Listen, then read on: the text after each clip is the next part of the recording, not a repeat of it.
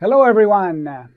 My name is Timo Elliott, and I'm an innovation evangelist for SAP. The theme of this week's Better Together conversation is achieving real time customer insights. And I'll be talking to Mustafa Mustafa, Senior Director of Analytics and Technical Shared Service for Ferrara Candy. Now, this series is where SAP gives the microphone to our customers and partners for an unfiltered look at how they're innovating with SAP's business technology platform to unlock business value.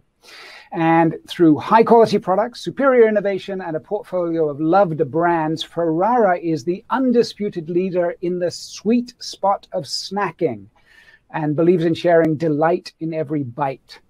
Uh, today, our job is to try and share some of the most important lessons learned on Ferrara's journey with the SAP Business Technology Platform, or the Delight in Every Bite BYTE program. Um, and the goal is to help you, the audience, be more successful with your projects. So, Mustafa, welcome. Please, could you briefly introduce Ferrara and your role? Well, thank you for having me. Um, my name is Mustafa Mustafa. I am currently the Senior Director of Technical and Analytics Shared Services within Ferrara. I've been there since 2014. My first initiative was to digitally transform the BI organ, uh, organization within Ferrara. And then from there on out, I've been doing that digital transformation across many different uh, functions within IT. So, how would, how would you describe where Ferrara was in terms of di- digital innovation when you arrived at the company? What you what were you starting with? So, I would say that they were in their infancy stage. So, they knew that there was a dire need to be able to uh, manage their information. Uh, one of their seven strategic imperatives was to have reports and analytics built out. So that's what, literally the reason why I was hired. I came on board, and, and that was the goal was to transform reports and analytics to be on the latest and greatest, providing the visibility to the organization, the information they needed to have at their fingertips. So this was already an initiative that the, the company was behind. Do you know what, what triggered that? What was what were the business drivers? Why had they identified this as a, a possible opportunity or something that they needed to do? Uh, so in 2012, uh, Farley and Sathers and Ferrara Pan had merged. Uh, two years later, the information was in various locations without, throughout the organization folks were spending tremendous amounts of time building things in Access database, in Excel, and what the analyst was focused on was more on IT driven solutions on the client side PC versus having an enterprise data warehouse that would be able to be versatile to meet people's needs and providing them with the information they needed at the right time in the right place uh, in, in a way in a mechanism in which they can consume that information. So having it be the right tool as well. So they were their information silos, and it was just getting too painful. It was too obvious that it was not optimal for the organization. So what were the, what were the next steps? Who who drove that conversation? How did you work with different parts of the business unit? How did you how did you get started? Right, you saw that there was an issue. How did you uh, get people to buy into what you were proposing? Yeah, so step one is connect with each of the various department leaders and with the executive leadership team. Understand from the executive leadership perspective what were their goals for the year. Remember, one of the seven was me in particular, right? Reports and analytics, but there were six others goals that they had identified.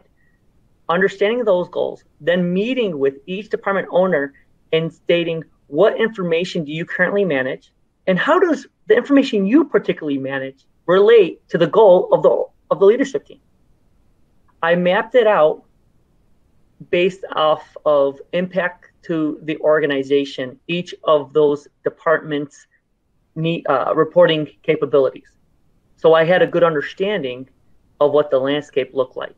Next i needed then to identify the ability to implement and looking at the technology we had in house, there was a huge gap. And so part of the strategy was to one, of course, is people and process, which I had identified, but the second portion was understanding the technology and being able to come up with a robust enough tool to enable us to meet the needs of the goals of the organization and the leadership team. And it sounds like that phase also helped you build credibility, which is so important for making these projects successful. Is there anything that you see people doing wrong, or any advice you can give to people to to start those conversations with credibility? Yeah. So, trust needs to be built, and trust is typically built by dialogue, understanding someone's needs, and when you understand someone's needs, I used to say ask for the world and let's build it together. So I wanted an unconstrained perspective of what their needs were. Because folks tend to have a preconceived notion that te- of technology limitations that currently don't exist anymore. And so once they communicated, here's what we wish we could have. And then I went and got a technical la- technology landscape that can support giving people the right information with the right tool combining those two and with the robustness of the paradigm shift of how quickly it is to develop in our newest technology, which was HANA, coming from our pre existing technology that we had in our landscape, we were able to deliver month after month results. Things that would take months to build were now taking us weeks to build. So we work with an execution in our governance to divide um, our execution within our operating model, which is we deliver once a month uh, reports meeting their needs. So we built a data foundation for each functional area within the organization. And then we built reports off of that data foundation month after month. They knew that we were in collaboration with them uh, and meeting with them and breaking down silos, working cross functionally, that results were happening by working with us.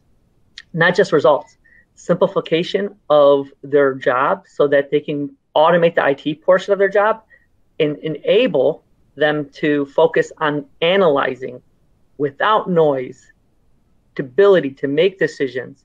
And then you see a transitional phase within the super user or the end user, or the business owner, to be able to make decisions without noise, no longer based off of gut feelings, but based off of data that was accurately helping them get to their goal for the organization. And presumably, then you had uh, a good idea of their business at this point. So you, you had a business level conversation with them, understand their their greater goals, and then were able to translate that uh, to technology. But I have to say, you make it sound easy. I'm sure in real life it's not. It wasn't quite as easy as that. What, what are the kind of hurdles that you faced as you tried to implement this plan? What went wrong, and how did you overcome them? It was a I think when I was hired, I think the biggest hurdle was I digital transformation wasn't something that was truly understood in in various capacities, and so the methodologies that I brought on board were really a, meth- methodical approach to be able to unite the organization to leverage a tool, benefit, managing change management uh, with the highest likelihood of success. And so by doing so, uh, the the challenges was to communicate to the to the organization, to the, the business owners, to the executive leadership team. This is what the vision is, and and so it took some time, uh, and the results were quite impressive in our proof of concept of data warehouses when we first brought on HANA, where we were actually taking a single process from six minutes down to seconds that that's hard for people to digest. You know, you get information real time, real fast, and that's a for that perspective, it's a chance. They just couldn't comprehend what we were doing. So the moment they got it, and it was available at their fingertips, the trust increased, the hurdles were removed, and the executive sponsorship was really what enabled us to roll this out fully throughout the organization within a two-year span, a full data warehouse from grassroots all the way to a mature solution. And, and it was the enablement of having that trust by the executives who in, wanted to have that information at their fingertips, but also alleviate their their teams of having to do isolated techno- technological solutions within their own teams. Now, one of the things that I find organizations struggle with is that technology can do things faster, but of course, turning speed into real business benefit is something that can be hard because it often it involves being able to do new things in new ways requires a certain amount of imagination it requires a lot of business change um, it, it, requires a leap of faith as well sometimes to get the business value out how, how did you manage that process of really making sure that people got the benefit out of faster technology Right. So I think again, three-step process. First, I met with all the business owners. That's step one. Step two, I determined what's the easiest solutions to implement that low-hanging fruit, things that were high on the impact of the organization, but also low in the level of effort to develop. So then the third is then create a roadmap. And in the roadmap, I didn't roll out every single capability. That wouldn't make sense. It's too much for change management. What I did was taking the lowest hanging fruit, who was suffering the most, matching it with who I can really solve and, and bring value to that value to that group, combine those and said, you're the first person I'm going to work with. In our situation, it was sales and demand planning. Bringing the those teams together, collaborating with them, we came up with a solution, uh, a unified dictionary for the whole company, one report catalog for the whole company, they were collaborating in, in, in ways that they never collaborated before because they just never had time to sit together. They're always working in isolation. By doing that, we built a data foundation that had everything that all the information they wanted. Now it was just nuances of how to extract information into different reports. And so we provided one tool, which was analysis for office from Bob J. So that gives people the ability to slice and dice. Then they're like, oh, I love this data I wish I could just have this data come to me in the morning so I don't have to refresh. Well, okay, well, then we set up web intelligence and we allow them to hit refresh. And now the report, I mean, um, we allow them to get broadcasted reports to their inbox and now they're, it's available. Then as the maturity of that group went on, they're like, well, we want to start capturing our KPIs from, again, you may have heard the terminology from executive to shop floor. We want to remove the noise. We want to be able to, to, to really get to uh, the information so that we can make quick decisions. And then we created dashboards for them. So what you see is you don't provide necessarily everything all up at once. What you do it is you do it incrementally so that change management is more digestible. And if it's more digestible, it has a higher likelihood of being accepted and adopted within the organization. And, and a steady stream of customer wins and people appreciating what you're able to give them. So you're building on that initial trust with with rewards and extra business capability. Now, just to make sure that we we know what we're talking about, could you describe the the technical stack for like what are the elements of the business technology platform that you're using? How are they connected together? So we currently have HANA as our data warehouse. So the HANA uh, server is has three components. The first is the data warehouse, right? So it's just like the database portion. And that's where all the data is stored. Second is the modeling portion. And then the third is we actually do utilize the front end application portion. So we can actually create web uh, applications from the HANA instance and be able to write report and write back to the database. Uh, this is important as some at times we need to be able to uh, add comments to our, our, our reports and our information and HANA does a great job of allowing us to do so. Then the second is which is a little bit more robust, is our front end tools. So we have Business Objects, which is our front end tool. We have for uh, uh, Analysis for Office, which is our slicing and dicing Excel tool. We have Web Intelligence, which is our portal. So folks can go out to the portal, be able to see information not within our internal network. And we also have the ability to broadcast reports out, have formatted reports.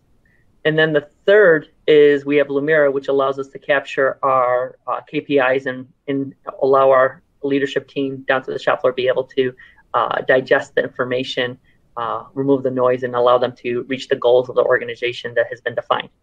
We also, through acquisition, folks come, came on board with Tableau. And so we had a challenge of both Tableau and uh, our BobJ solution. And of course, with me, I like to have strong governance. I like to keep it sweet and simple, sweet value to the business, simple.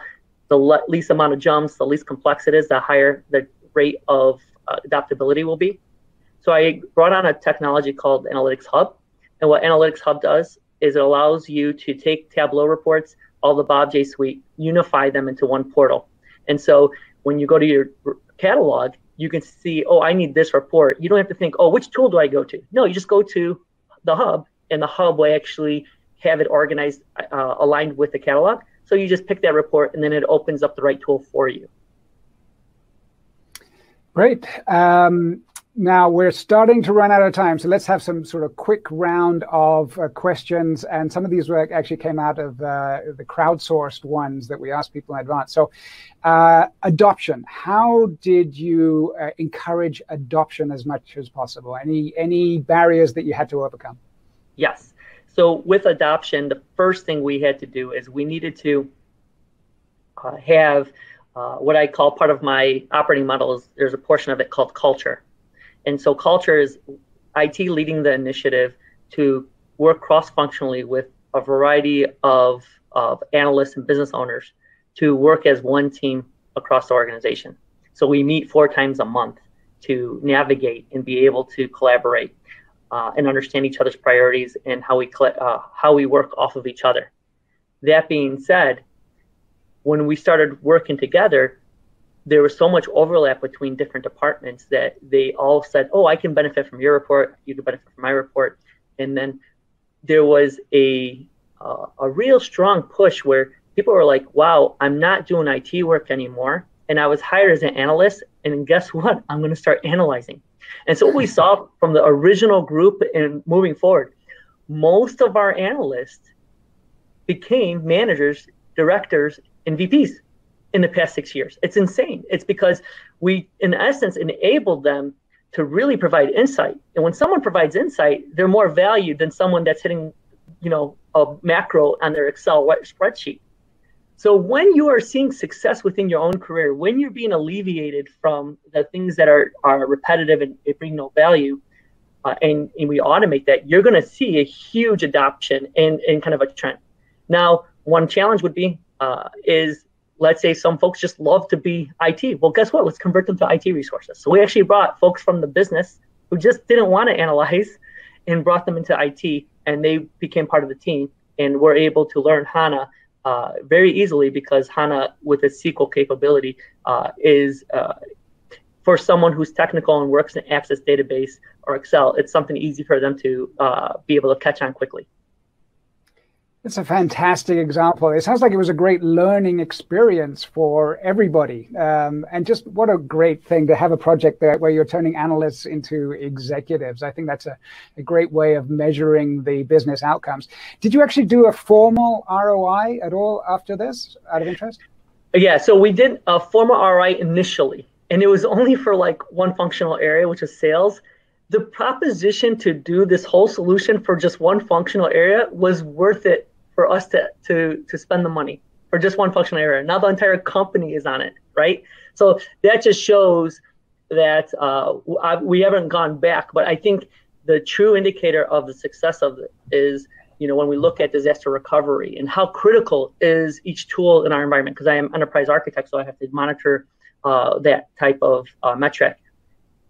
Business intelligence was not a critical application in the past now it's the lifeline of the organization cross functionally. You know, it, it is it's it is the enabler for for our our organization to be able to make good decisions rather than gut decisions. It's an enabler to work smart and not hard. And I think that has been a huge paradigm shift in the organization that uh, has proven out, uh, even with its limited uh, evaluation for ROI that we did back in 2014.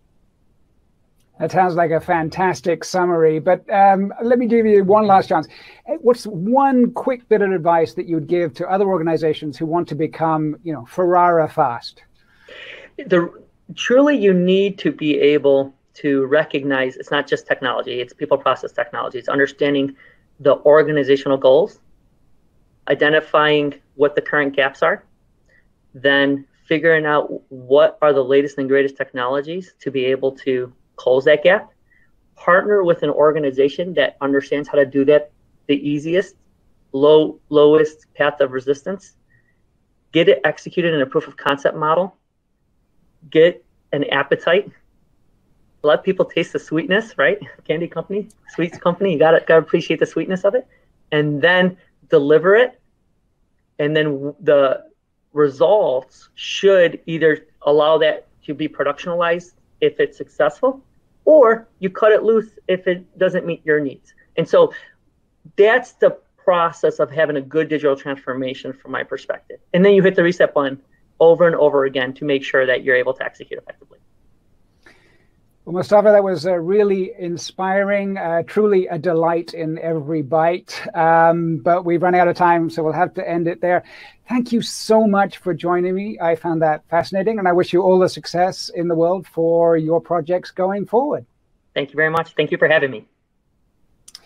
Now, uh, if you'd like to hear more great examples of business technology platform success stories, or you'd like to suggest topics that you'd like to see us discuss with other people, if you'd like to participate in the series yourself, please go to sap.com slash BTP to be part of the conversation. So uh, thank you for your attention. Best of luck with your projects in the audience. And I hope to see you again soon for another Better Together conversation.